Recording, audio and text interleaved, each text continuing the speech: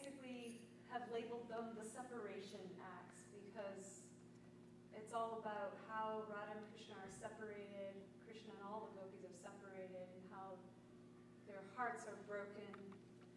When we transition into Acts 5 to 10, Krishna is slowly reunited with each of the gopis. Act 5 is called Attainment of Chandravali. So that is the story of how Krishna marries Rukmini. Now it's very interesting. Rupa Goswami portrays that Krishna does not go to Kundina in order to marry Rukmini. He receives her letter, but he doesn't realize that she's Chandravali. And Krishna has no interest in marrying just some random girl. He wants to be reunited with the gopis. He doesn't want to get entangled in a marriage that's going to keep him away from Vrindavan and away from the gopis. He goes to Kundina because of the invitation of two very dear devotees named Krata and Kaishika. I've never heard of them before, not until I read Lalita Madhava, but they are the ones who convinced Krishna that he should kidnap and rescue Rukmini. So that's Act 5, his reunion with Chandravali. Moving along to Act 6, first we see how Radha, who is now Satyabhama, is handed over by her father Shatrajit to Rukmini. She's given to Rukmini's charge to be given to Krishna. But Rukmini doesn't recognize her as her sister Radha. So there's a lot of drama there. The act, though, is called Attainment of Lalita, 6, Krishna fights with Jambavan to, get the Syamantaka jewel. The Syamantaka jewel is very important. Remember, I told you before, Radha only gets to be reunited with Krishna when she gets the, the Syamantaka jewel back. So Krishna's going to get this jewel, and meanwhile, he finds Lalita. That's Act 6.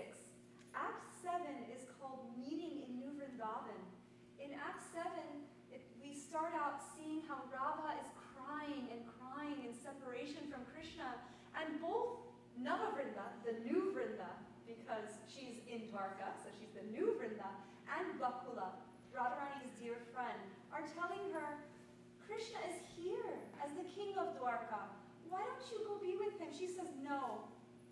My heart is with Gopal Krishna in Vrindavan, and I can never ever give my heart to anyone else. So they come up with a plan.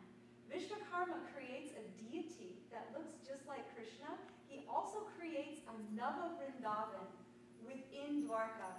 So there's a Nava Vrinda, a new Vrinda, and there's a new Vrindavan.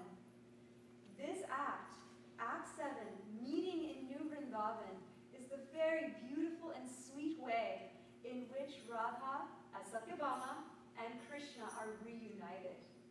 But there's a problem. Rukmini, Chandravali, doesn't know she's Radha. And so she is very jealous when she realizes that they're meeting secretly.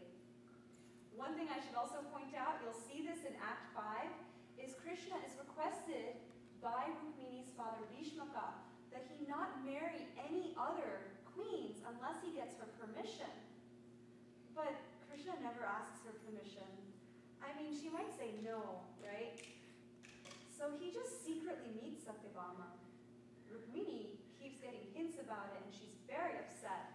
And that's one thing I find interesting about the Lalita Madhava, is that generally Rukmini is very composed and submissive and controlled. She's not an angry, jealous type. But in this situation, when she doesn't recognize Radha, and she has these hints that Krishna is basically having an affair, she's very jealous and very angry. So I find that quite interesting. Moving along to Act 8. It's called Pastimes in New Vrindavan, so there's a lot of exchanges in Nava Vrindavan between Krishna and Satyabhama, but it is also when Krishna attains Vishaka. So Vishaka is actually Kalindi, and Krishna tells the story, he tells Radha how he meets Vishaka while he's out hunting with Arjuna. So that's what happens in Act 8. In Act 9, we have them all looking at pictures. Gurudev mentioned this, how in Nava Vrindavan, in New Vrindavan, there's this cave where there's all these beautiful drawings of all their pastimes in Vrindavan. And so they get to basically walk down memory lane together. Radha and Krishna, Madhumangal's also there, and there's also Sukanti. Sukanti is there, relishing these leelas. That act ends in a very heartbreaking way because Act 9 is where Rukmini, Chandravali, gets confirmation that Krishna is indeed madly in love with Satyabhama. At that point, she decides to keep Satyabhama with her at all times. She basically makes Satyabhama her shadow. She keeps her as a prisoner right by her side so that she can watch her. And that's the way Act 10 begins. Act 10 is called All Desires Are Fulfilled. But first, there's all kinds of obstacles to overcome. And so, please enjoy. Oh, I should point out one more thing.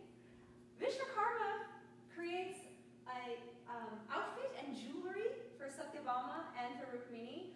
Madhavi switches them, and they end up dressed in each other's clothes. This causes so much trouble. So keep an eye out for that as well. I've taken notes because there's just so many different fun things going on. Oh, also keep an ear out and an eye out for the two excuses that Krishna uses with Rukmini in with Satyabhama. The first time he tells Rukmini that there's an ascetic lady that he needs to go visit because she's constantly thinking about him. Well, he's not really lying, right? Because Satyabhama is an ascetic lady who is constantly meditating on him. Radha, right? She's constantly meditating on him. The second lie he tells, though, I think I don't think we can make any excuses for him. He says he's going to Brahmaloka. He doesn't go to Brahmaloka. He goes to Nava And that is in Act 9 that is when she